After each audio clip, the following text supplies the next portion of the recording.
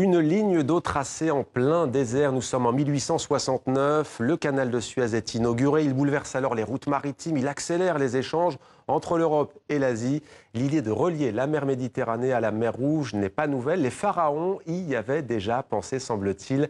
L'historienne Caroline Piquet, auteure de l'ouvrage Le Canal de Suez aux éditions Éric Bonnier, retrace la fabuleuse épopée du percement de l'isthme de Suez dans un ouvrage donc et sur notre plateau. Bonsoir Caroline Piquet, merci d'être avec nous. Soyez la bienvenue. Euh, pour que l'on comprenne bien d'abord le canal de Suez, comment est-il né? Qui a décidé de lancer ce projet, si je peux me permettre, pharaonique il y a eu plusieurs projets de canal de Suez. L'objectif, c'était de relier l'espace méditerranéen et l'espace de, la mer Rouge. Donc, sous l'Antiquité, il y a eu des projets qui n'étaient pas des projets directs, c'était des projets de, liaison entre les canaux du Nil. Euh, le véritable projet, tel qu'on l'entend du, canal moderne, il va naître euh, avec l'expédition d'Égypte de, Napoléon Bonaparte. Mmh. D'autres y avaient pensé, notamment la République de Venise au XVIe siècle, mais c'est véritablement Napoléon Bonaparte avec son expédition d'ingénieurs qui va la première fois euh, vérifier la faisabilité du, du canal. Puis d'autres ensuite vont euh, euh s'engouffrer dans la brèche, ouais. Pardon, oui, euh, s'en inspirer, notamment les Saint-Simoniens et euh, notamment Ferdinand de Lesseps, alors qui n'est pas ingénieur mais qui est diplomate et qui est très proche du vice-roi égyptien et qui donc va obtenir l'autorisation de creuser ce fameux canal de, Suez. Alors 193 kilomètres. Alors d'ailleurs, on a commencé à creuser en 1859, hein, bien avant l'inauguration. Ah oui, dix années. Le, chantier a duré dix années. Ça a été un, chantier énorme qui a d'abord commencé, euh, je dirais, de façon manuelle, c'est-à-dire avec des fellahs, des paysans égyptiens qui travaillaient à la main, avec des pics, euh, jusqu'à ce que la Grande-Bretagne et euh, l'Empire ottoman récusent l'usage de la corvée sur le canal de Suez. Du coup, cela a accéléré ce qu'on appelle la mécanisation du chantier et les, les années suivantes ont été marquées par l'introduction de nouvelles technologies qui, euh, qui font de ce chantier un chantier exceptionnel au XIXe siècle. Les pharaons y avaient vraiment déjà pensé? Ah, ils y avaient pensé, mais encore une fois, il ne s'agissait pas de couper l'isthme de Suez. Il s'agissait de mettre en place un réseau de canaux euh, reliés au Nil de manière à favoriser la traversée, euh, l'échange des données plus, plus, exactement entre la Méditerranée et la mer Rouge. Là, ce qui est fabuleux, c'est qu'on rassemble la mer Méditerranée et la mer Rouge, mais on sépare aussi deux continents. Oui, on sépare deux continents. Euh, L'Afrique et Pendant très longtemps, en fait, euh, la, crainte a été de, que, que, les deux mers soient de niveaux différents. Voilà.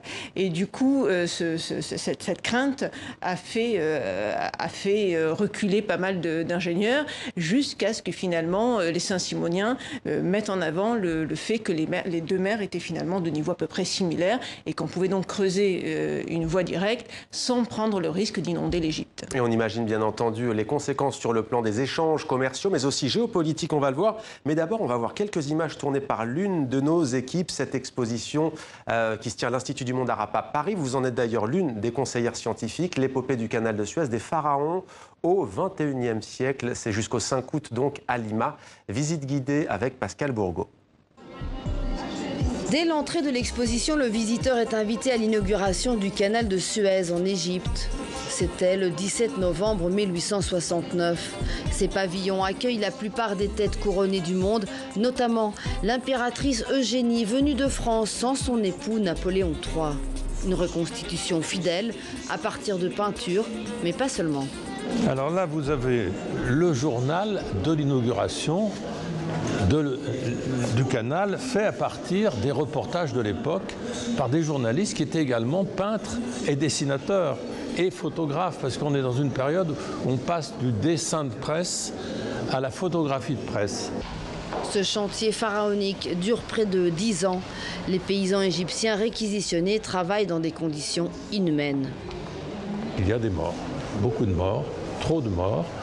Euh, il faut euh, que le canal puisse faire appel à des technologies de pointe et Ferdinand Lesseps fait intervenir les dragueuses, c'est-à-dire ce genre d'appareil qui va creuser sous l'eau et qui va permettre d'accélérer euh, le travail. Le canal de Suez appartient à ces investisseurs français, belges et anglais. Leur contrat d'exploitation prévu pour un siècle est brutalement interrompu en 1956 par le président Nasser. Nasser annonce la nationalisation. Les gouvernements français et anglais euh, qui représentent leurs opinions publiques décident d'intervenir et envoient leurs parachutistes à Port Saïd. Euh, évidemment, c'est un conflit armé, dur.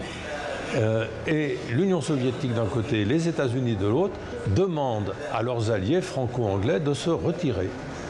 Donc c'est un échec français et anglais. C'est la fin du colonialisme. Aujourd'hui, les droits de passage sur le canal rapportent à l'Égypte 5 milliards d'euros par an, un revenu qui est en passe de doubler. Un canal euh, de Suez qui a été euh, rénové en 2015. Des travaux ont été lancés. Où en est-on, Caroline Piquet? Les travaux sont quasiment achevés. Euh, mais là aussi, il s'agit d'un chantier énorme, alors qu'il avait, avait, deux vocations, une vocation politique et une vocation commerciale. Rappelons que le maréchal Sissi arrive au pouvoir dans un contexte quand même très difficile, puisqu'en 2012, c'est euh, le, le, candidat des frères musulmans qui, avait, qui avait été démocratiquement élu.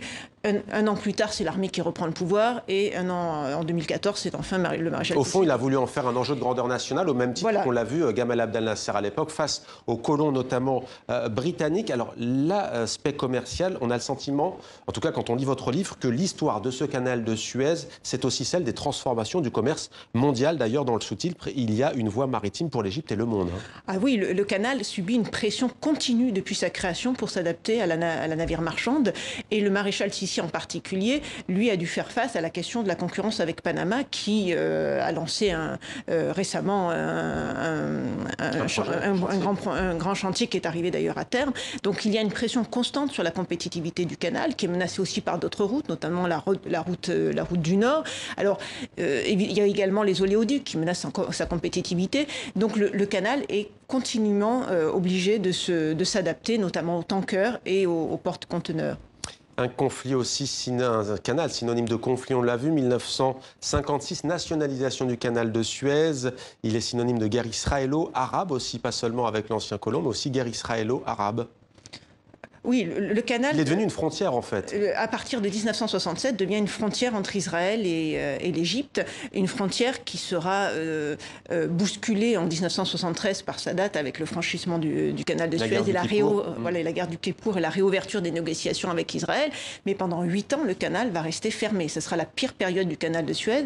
Ça veut dire que c'est une frontière militaire et le commerce maritime perd ses droits dans la région, c'est-à-dire que le canal perd en compétitivité et les flux pétroliers ou les flux de transport maritime vont emprunter d'autres routes, notamment la route africaine. Une route maritime en plein désert, la région aurait-elle vraiment pu accueillir la fameuse statue de la liberté? Alors ça a été un très grand projet.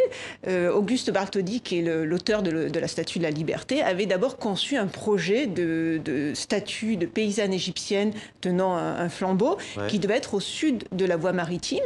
Euh, il n'a pas été financé par le vice-roi égyptien de l'époque et du coup, par dépit, il a, il a proposer un autre projet qui est devenu la Statue de la Liberté. Mais ce qui est intéressant, c'est que ça montre qu'à l'époque, le canal de Suez occupait la place que occupe aujourd'hui euh, New York ou les États-Unis. Merci beaucoup Caroline Piquet, historienne, de nous avoir fait voyager ce soir le canal de Suez, une voie maritime pour l'Égypte et le monde, édition Éric Bonnier. Merci à vous.